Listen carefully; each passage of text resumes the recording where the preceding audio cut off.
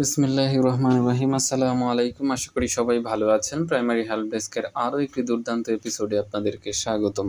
আজ আপনাদেরকে দেখাবো কীভাবে জুলাই মাসে আমাদের মোট বেতন কত হবে, তার একটি স্বতঃস্ফূর্ত হিসাব যেটি সবসময় ঠিক থাকবে। সেই হিসাবটি আমি আপনাদের সামনে নিয়ে এসেছি এবং এখানে কিন্তু বিশেষ প্রণোদনাটি সংযুক্ত করেই এই বেতনটি তৈরি করা হয়েছে। তবে এখানে বলে রাখা ভালো যে, আমাদের যেহেতু নবম পে স্কেল হচ্ছে না, সেক্ষেত্রে অষ্টম পে স্কেল অনুযায়ী কিন্তু আমি এই বেতন শিটটি নেওয়া হয়েছে, তৈরি করা হয়েছে। এই বেতন শিটটিতে আরও একটি উল্লেখযোগ্য বিষয় হচ্ছে, এখানে বাড়ি ভাড়ার যে হিসাব ধরা হয়েছে, সেখানে কিন্তু সিটি কর্পোরেশন ও ঢাকা সাভার পৌরসভা ব্যতীত অন্যান্য সকল এলাকার জন্য এটি প্রযোজ্য। আর আরেকটি কথা হচ্ছে আপনার যে জিপি ফান্ডে আপনি কত টাকা কাটছেন, সেই টাকাটা কিন্তু এখান থেকে বাদ দিতে হবে। ধরুন কেউ যদি এক হাজার টাকা কেটে থাকে, তাহলে সে এক হাজার টাকা কাটবেন, যে নিট আমি টাকাটা বলব, সেখান থেকে কেটে নেবেন। তাহলে আপনার এই জুলাই মাসের এক তারিখে আপনি কত বেতন পাবেন, সেটি কিন্তু আপনি জেনে যাবেন। তো আমি প্রথম গ্রেড এইট থেকে শুরু করছি, এই যে দেখতে পাচ্ছেন গ্রেড এইট প্রারম্ভিক যদি কেউ ঢুকে থাকেন তেইশ হাজার স্কেলে তাহলে তার এখানে একটি আলোচ্য বিষয় হচ্ছে যে চিকিৎসা ভাতা, এটা কিন্তু সবার জন্য সমান এবং টিফিন ভাতা, এটাও কিন্তু সবার জন্য সমান। আর বিশেষ প্রণোদনার এই শীটটি এখানে দেওয়া আছে যে বিশেষ প্রণোদনার হিসাব করে এখানে দেওয়া আছে এবং কতটুকু কর্তন করা হবে, এটা বিএফ ও রেভিনিউ হিসেবে একশো ষাট টাকা কেটে নেওয়া হবে, এটা সকলের ক্ষেত্রেই সমান। আরেকটি বিষয়, আপনি যদি সন্তানের ইয়ে কি বলে, শিক্ষা ভাতা যদি আপনি পেয়ে থাকেন, এক সন্তানের জন্য পাঁচশো টাকা আর দুই সন্তানের জন্য এক হাজার টাকা। এটা আপনারা সবাই জানেন।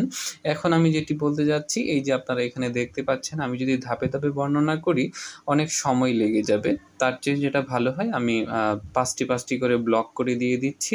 আপনারা সেটি দেখে নিতে পারেন। এই যে এখানে দেখতে পাচ্ছেন, তেইশ হাজার স্কেল মানে এক বছর শেষ হলে জুলাই মাসে তার হয়ে যাবে চব্বিশ হাজার একশো পঞ্চাশ। সেখানে তার বাড়ি ভাড়া নয় হাজার ছয়শো ষাট। তারপর হচ্ছে মূল বেতন পরের বছর হয়ে যাবে মানে তৃতীয় বছরে পঁচিশ হাজার তিনশো ষাট। চতুর্থ বছরে ছাব্বিশ হাজার ছয়শো ত্রিশ। পঞ্চম বছরে সাতাইশ হাজার নয়শো সত্তর। ষষ্ঠ বছরে উনত্রিশ হাজার তিনশো সত্তর। এইভাবে দেখুন, বাড়ি ভাড়াও কিন্তু এখানে নির্ধারণ করে দেওয়া হয়েছে। আপনারা আপনাদেরটা এখানে দেখে নিতে পারেন, আর এখানে নিট টাকাটাও দেওয়া আছে। এখানে মূল বিবেচ্য বিষয় হচ্ছে, আপনার বাড়ি ভাড়াটা এবং আপনার যে মূল বেতন, এটিই কিন্তু মূলত আপনাকে ডিফার করে।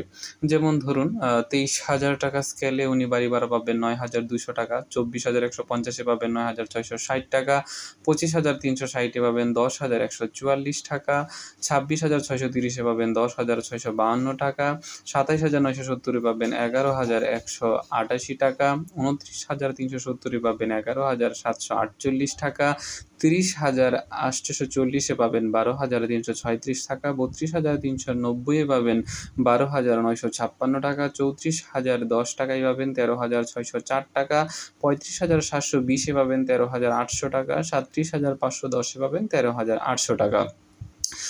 উনচল্লিশ হাজার তিনশো নব্বই পাবেন, তেরো হাজার আটশো টাকা, একচল্লিশ হাজার তিনশো ষাটে পাবেন, চোদ্দ হাজার চারশো ছিয়াত্তর টাকা, তেতাল্লিশ হাজার চারশো তিরিশে পাবেন, পনেরো হাজার দুশো টাকা, পঁয়তাল্লিশ হাজার ছয়শো দশে পাবেন, পনেরো হাজার নয়শো তেষট্টি টাকা, সাতচল্লিশ হাজার নয়শো পাবেন, ষোলো হাজার সাতশো পঁয়ষট্টি টাকা, পঞ্চাশ হাজার তিনশো টাকায় পাবেন, সতেরো হাজার ছয়শো পাঁচ টাকা, বাউন্ন হাজার আটশোশো বিশ মূল বেতনে পাবেন, আঠারো হাজার চারশো সাতাশি টাকা এবং পঞ্চান্ন হাজার চারশো সত্তরে পাবেন, উনিশ হাজার চারশো পনেরো টাকা।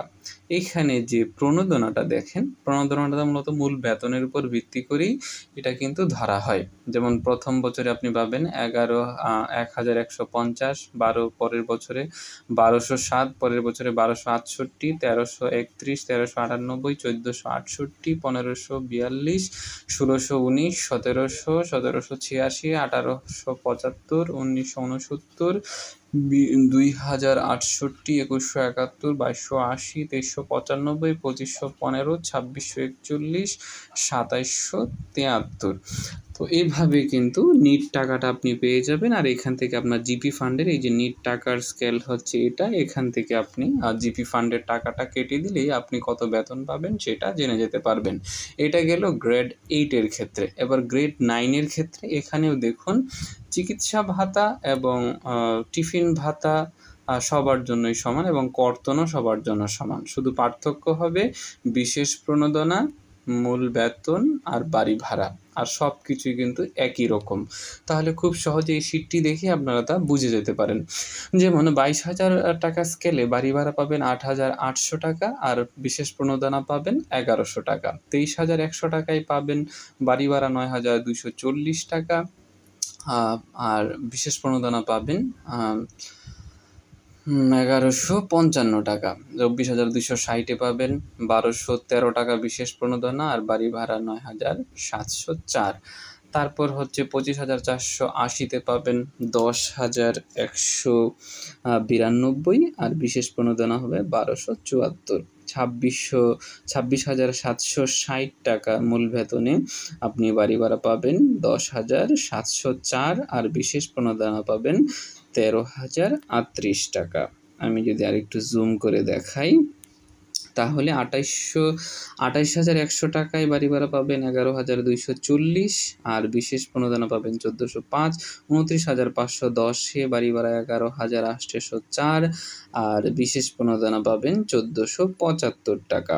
আর তিরিশ হাজার নয়শো নব্বই, বাড়ি ভাড়া বারো হাজার তিনশো ছিয়ানব্বই, আর বিশেষ প্রণোদনা পনেরোশো উনপঞ্চাশ। বত্রিশ হাজার পাঁচশো চল্লিশে পাবেন তেরো হাজার ছিয়া, তেরো হাজার ষোলো, আর বিশেষ প্রণোদনা পাবেন ষোলো হা, ষোলোশো সাতাশ।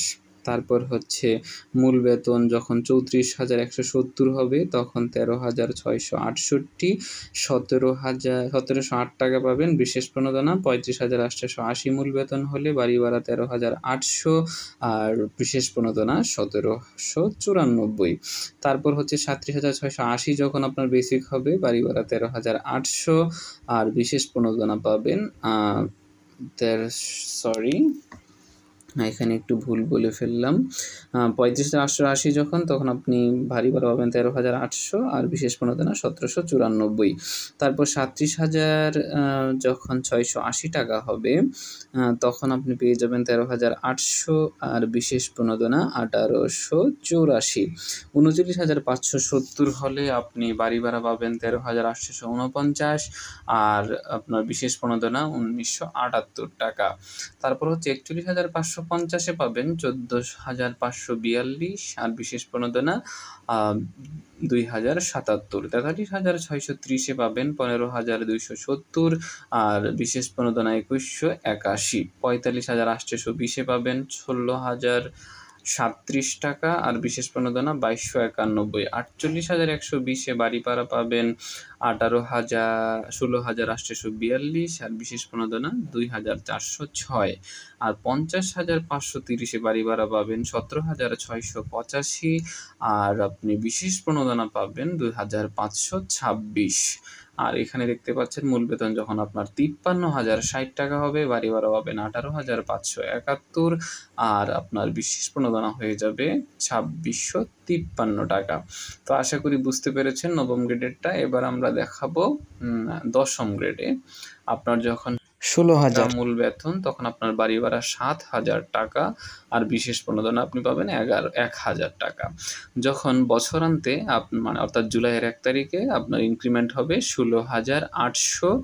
সেক্ষেত্রে কিন্তু আপনার বাড়ি ভাড়া সাত হাজারই থাকছে এবং বিশেষ প্রণোদনা আপনি এক হাজারই পাবেন।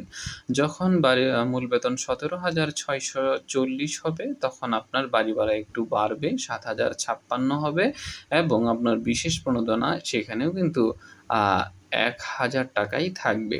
পরের বছর যখন আঠারো হাজার পাঁচশো ত্রিশ হবে, তখন বাড়ি ভাড়া সাত হাজার চারশো বারো আর আপনি এখানে পাবেন এখানে এক হাজার টাকা। তারপর উনিশ হাজার চারশো ষাট যখন হবে, তখন বাড়ি ভাড়া সাত হাজার সাতশো চুরাশি। আর এখানে বিশেষ প্রণোদনা এক হাজার টাকা পাবেন। আর এখানে কিন্তু এই যে নিট টাকাটা দেওয়া আছে, এটা আপনারা দেখে নেবেন। এইভাবে দেখে নিলে আপনারা কিন্তু আপনাদের বছরান্তে কত বেতন হবে, এটি সরাসরি বের করে নিতে পারবেন। আপনাকে কিন্তু কোনো সূত্র প্রয়োগ এখানে করতে হবে না। এই সবগুলো যোগ করলে কত হবে? এই নিট টাকাটা কিন্তু এখানে দেওয়া আছে। তারপর দেখতে পাচ্ছেন যেভাবে আপনারা দেখবেন একের পর এক দেখে গেলে আপনারা সবগুলো কিন্তু নিজেরটা খুব সহজেই বের করে ফেলতে পারবেন। আমি যদি এভাবে একটির পর একটি বলে যাই, আসলে অনেক সময় লেগে যাবে। তো আপনারা এখানে নিট টাকাটা দেখে নিলেই বুঝতে পারবেন। তো মজার ব্যাপার হচ্ছে এইটাতে কিন্তু বিশেষ প্রণোদনাটা যুক্ত করা আছে। এটি যুক্ত করি এখানে নিট টাকাটা বের করা হয়েছে। আর অবশ্যই জিবি ফান্ডের টাকাটা বাদ দিবেন। ধরেন এক হাজার হলে এক হাজার কেটে দিবেন, দু হাজার হলে দু হাজার কেটে হিসাব করবেন। আর সন্তান, এক সন্তান হলে পাঁচশো টাকা যোগ করবেন, দু সন্তান হলে এক হাজার টাকা যোগ করবেন। আচ্ছা এটা গেল। এবার হচ্ছে এগারোতম গ্রেডের হিসাব। এই যে এখানেও দেখতে পাচ্ছেন বিশেষ প্রণোদনার হিসাবটা দেওয়া আছে। তারপর এখানে টিফিন ভাতা, চিকিৎসা ভাতা সবার জন্যই কিন্তু সমান। শুধু বাড়ি ভাড়া আর হচ্ছে আপনার এই যে বিশেষ প্রণোদনাটা একটু পরিবর্তন হয় আর সব কিছুই কিন্তু ঠিক আছে। কিন্তু আমাদের আসলে এত সময় থাকে না এগুলো হিসাব করে বের করার। এই জন্য আমি এই ভিডিওটি এখানে আপনাদের সামনে নিয়ে এসেছি। এই ভিডিওটি দেখে আপনারা কিন্তু আপনার নিজেরটা খুব সহজেই বের করে নিতে পারবেন। এখানে কিন্তু ডিটেলসে দেওয়া আছে। আমি অষ্টম গ্রেড দেখিয়েছি, নবম গ্রেড দেখিয়েছি দশম গ্রেড দেখিয়েছি, এবার এগারোতম গ্রেড দেখিয়েছি। এখন একটা একটা করে যদি আমি বর্ণনা করি, আসলে অনেক সময় চলে যাবে। এই জন্য আমি একটু আপনাদেরকে ইনফরমেশানগুলো দিয়ে সময় নিচ্ছি যেন আপনি আপনাদেরটা দেখে নিতে পারেন। আর এখানে আছে বারোতম গ্রেডেরটা। সাধারণত এটা প্রধান শিক্ষকদের স্কেল, মেবি। এটি আপনারা দেখে নিতে পারেন। এইখানে দেখেন নিট টাকাটা এখানে দেওয়া আছে। আর দেখুন, চিকিৎসা ভাতা সবার জন্যই সমান, টিফিন ভাতা সবার জন্যই সমান, বিশেষ প্রণোদনা। এখানে প্রায় সমান কিছু পরিবর্তন আছে, কারণ এটা মূল বেতনের উপর ফাইভ পার্সেন্ট দেওয়া হয়। তারপর হচ্ছে কর্তন। কর্তন দেখুন, এখানে কর্তনের ক্ষেত্রে কিন্তু একটু প্রথম দিকে একটু কম আছে। তারপর কিন্তু আবার সবার জন্যই সমান হয়ে গিয়েছে। আর এখানে নিট টাকাটা দেওয়া আছে। তো এক্ষেত্রে আপনারা যদি হ্যাঁ, কেউ যদি অনেক আগে প্রধান শিক্ষক হয়ে থাকেন যদি সাতাইশ হাজার ত্রিশ টাকার স্কেল আপনি অতিক্রম করে যেয়ে থাকেন সেক্ষেত্রে কিন্তু আপনার হিসাব অন্যভাবে হবে। আর এখানে কিন্তু আমি আবারও বলছি এটা কিন্তু অষ্টম পে স্কেল অনুসারে তৈরি করা এবং এটা অবশ্যই বাড়ি ভাড়ার হিসাবটা করা হয়েছে সিটি কর্পোরেশন এবং ঢাকা ব্যতীত। কারণ ঢাকা এবং সিটি কর্পোরেশনে যে সকল স্যারেরা আছেন, তাদের কিন্তু বাড়ি ভাড়া অন্যরকম। তাদেরকে যেহেতু খরচ সেখানে বেশি সেই জন্য ভিন্নতা দেখা যায়। এবার আমি দেখাবো এগারোতম গ্রেড তেরোতম গ্রেড তেরোতম গ্রেড হচ্ছে আমাদের যে সম্মানিত সহকারী শিক্ষকবৃন্দ আছেন প্রাথমিক বিদ্যালয়ের, তারা কিন্তু এখন তেরোতম গ্রেডে আছেন। বিশেষ করে নবীন যারা শিক্ষক আছেন, তাদের জন্য এই চারটি খুবই গুরুত্বপূর্ণ। কারণ তারা নতুন এসেছে, অনেক কিছু হয়তো বা তারা জানেন না। আমার এই চারটি তাদের অনেক উপকারে আসবে বলে আমি মনে করছি। দেখুন, ওনারা কিন্তু এগারো হাজার স্কেলে জয়েন করেছেন। জয়েন করার পরের বছর, অর্থাৎ আগামী বছর তাদের মূল বেতন হয়ে যাবে এগারো হাজার পাঁচশো পঞ্চাশ। তো এটার জন্য কিন্তু ইনক্রিমেন্টের কাজ করতে হবে। মানে ইনক্রিমেন্টের একটা কপি বের করতে হয়। সেটির ভিডিও আমি জুলাই মাসের এক তারিখ আপনাদেরকে দিয়ে দিব। আমার চ্যানেলটি সাবস্ক্রাইব করে রাখতে পারেন। কীভাবে ইনক্রিমেন্ট করবেন নবীন শিক্ষকরা খুব সহজেই এখান থেকে আপনারা পেয়ে যেতে পারেন। তো আপনারা নবীন শিক্ষক যারা আছেন, তারা কিন্তু একেবারে এক, দুই, তিন, চার, পাঁচ, ছয়, সাত, আট, নয়, দশ, এগারো, বারো তেরো। অর্থাৎ তেরো বছর আপনারা কিন্তু বিশেষ প্রণোদনা পাবেন এক হাজার টাকা করেই। এটা আপনাদের জন্য আসলে একটি দুঃসংবাদ। তারপর হচ্ছে ভারী ভাড়া। ভারী ভাড়াটা এখন আপনারা পাচ্ছেন চার হাজার নয়শো পঞ্চাশ টাকা। এটা আস্তে আস্তে বৃদ্ধি পাবে। একদম শেষে এসে আপনারা পাবেন দশ হাজার ছয়শো ছয়ত্রিশ টাকা। তবে আপনাদের হয়তো বা যারা এখনও জিপি ফান্ড চালু করেননি তাদের ক্ষেত্রে এখানে জিবি ফান্ডের টাকা কাটতে হবে না। এই যে নিট টাকাটা মানে মোট বেতন কত পাবেন, এটা এখানে দেওয়া আছে। যেমন আপনারা এবছর কিন্তু আঠারো হাজার পাঁচশো ত্রিশ টাকা মনে হয় পেয়েছেন। আর যদি রেভিনিউ কেটে থাকে, তাহলে আঠারো হাজার পাঁচশো বিশ টাকা হবে।